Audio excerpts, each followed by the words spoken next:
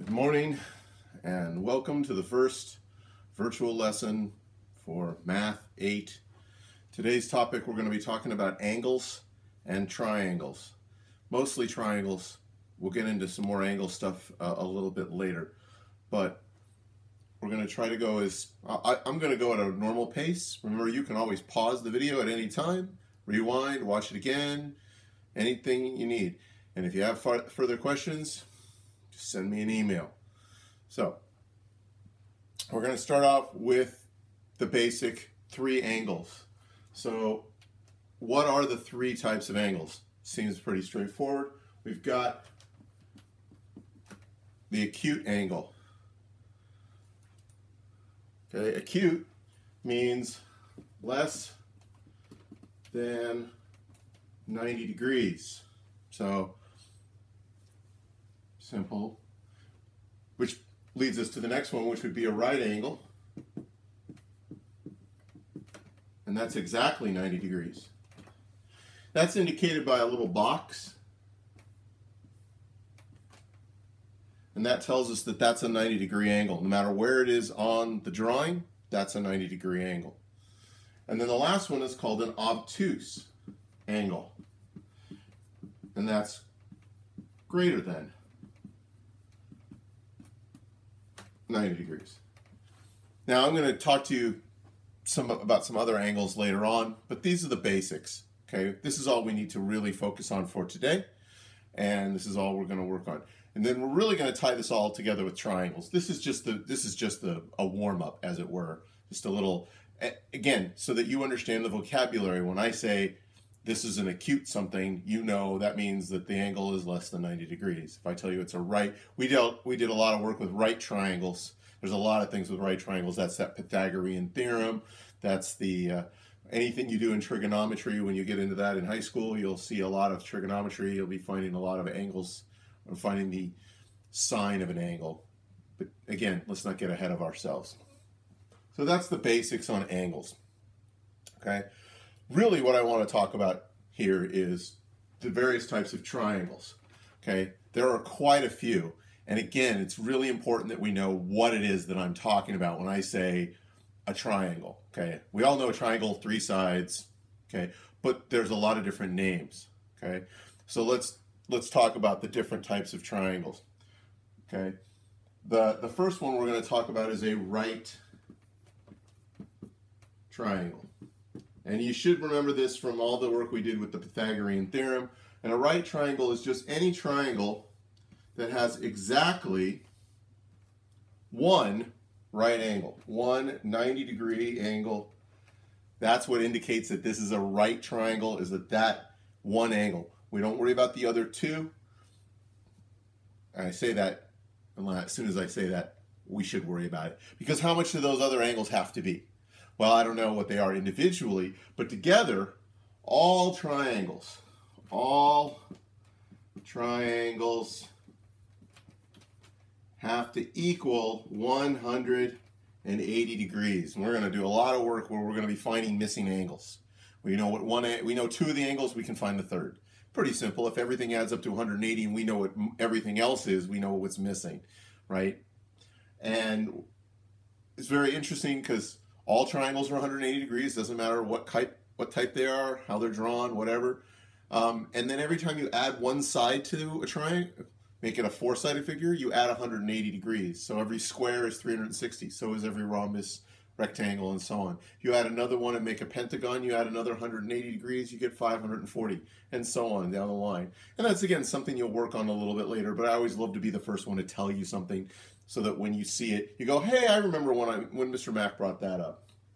But the real big one here is that all triangles are 180 degrees. And we're going to do a lot of things that are 180 degrees, and we're going to do a lot of things, we'll do a few things that are 90 and a few th and then maybe even a few things that are 360, but really a lot of 180 degree angles. So that's a right triangle. Okay, the next the next triangle we want to talk about is one that's called equa. Equa meaning equal, and lateral. Lateral meaning side. So this is equal sides. Ah, not sided, sides. If you're a football fan like myself, when they throw the ball sideways, they call it a lateral. They always want to know, did they throw it sideways or forward? So an equilateral, that means that all the sides in the triangle are equal. They're all exactly the same measurement. Okay, inches, feet, doesn't matter, but they're all the same. It also means that every angle has to be the same. And if every angle has to be the same, well, there are three angles, and they all have to add up to be 180 degrees. Remember, we just said that a moment ago, and here we are coming back to it. That means that every angle in this triangle has to be exactly 60 degrees.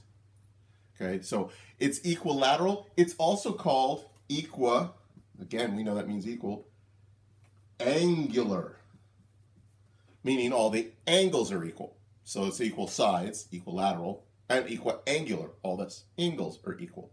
So we have a equal sides and equal angles. Again, kind of an important one to know. Um, it's always uh, the best use of your building materials if you're ever getting into that. Squares are the best. The next up would be equilateral triangles. Okay. The next one we have is one called isosceles.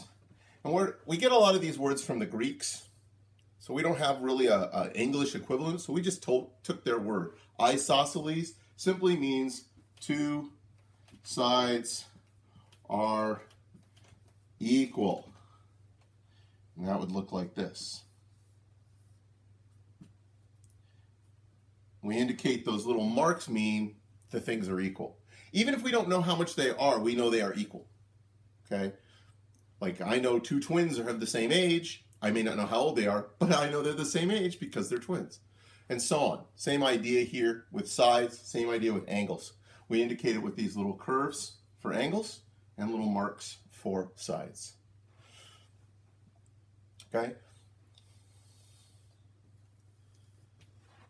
And the last one we want to talk about is one called scalene. And really, what does that mean? Nothing is the same. I know it looks a little weird the way I'm writing here. But scalene means nothing's the same. All the angles are different. Okay, all the sides lengths are different. There's nothing spectacular about them. Now they can be scalene. It could still be a right triangle. Those are usually scalene because it just means the sides and the angles are all different. Doesn't necessarily stop it from being a right triangle.